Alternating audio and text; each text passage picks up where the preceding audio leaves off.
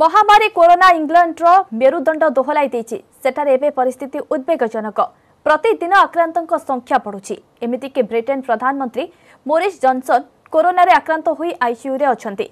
ତେବେ ୟୁକେରେ ଯେତିକି ସଂଖ୍ୟାରେ କରୋନାରେ ମୃତ୍ୟୁବରଣ କରିଛନ୍ତି ସେମାନଙ୍କ ମଧ୍ୟରୁ ପଚିଶ ପ୍ରତିଶତ ହେଉଛନ୍ତି ଲଣ୍ଡନର ଇଂଲଣ୍ଡରେ ମୃତ୍ୟୁ ସଂଖ୍ୟା ଷୋହଳ ହଜାର ଟପିଗଲାଣି ସାରା ଦେଶରେ ଲକ୍ଡାଉନ୍କୁ କଠୋର କରାଯାଇଛି ଲୋକେ ଘର ଭିତରେ ରହୁଛନ୍ତି ତେବେ କେମିତି ଅଛି ସ୍ଥିତି ସେ ସମ୍ପର୍କରେ ଅବଗତ କରାଇବା ପାଇଁ ଲଣ୍ଡନରୁ ଆମ ସହିତ ଅଛନ୍ତି ଶିକ୍ଷା ପରାମର୍ଶଦାତା ଦୀପ୍ତି ମହାନ୍ତି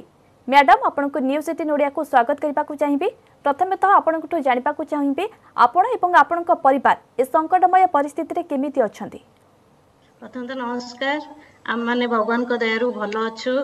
ଘର ଭିତରେ ଅଛୁ କମ୍ପ୍ଲିଟ୍ ଲକଡାଉନରେ ଅଛୁ ଆଉ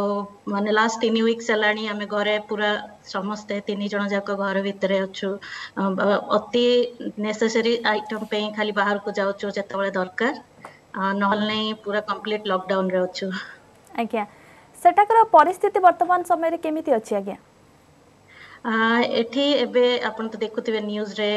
ୟୁକେରେ ପରିସ୍ଥିତି ବହୁତ ଖରାପ ଅଛି ଏବେ ବି ଆମେ ପିକ୍ରେ ପହଞ୍ଚିନୁ ଟୋଟାଲ ଏବେ ଲକ୍ଷେ କୋଡ଼ିଏ ହଜାର ଜଣ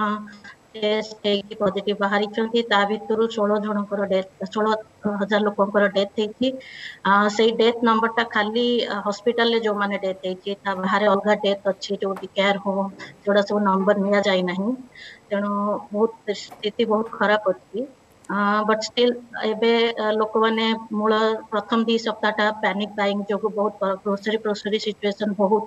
ଅସୁବିଧାରେ ଥିଲା ବଟ୍ ଏବେ ବହୁତ ସିଚୁଏସନ୍ କଣ୍ଟ୍ରୋଲକୁ ଆସିଲାଣି ଲୋକମାନେ ସବୁ ଘରେ ରହୁଛନ୍ତି ଠିକ୍ ଅଛି ଏବେ ଆଜ୍ଞା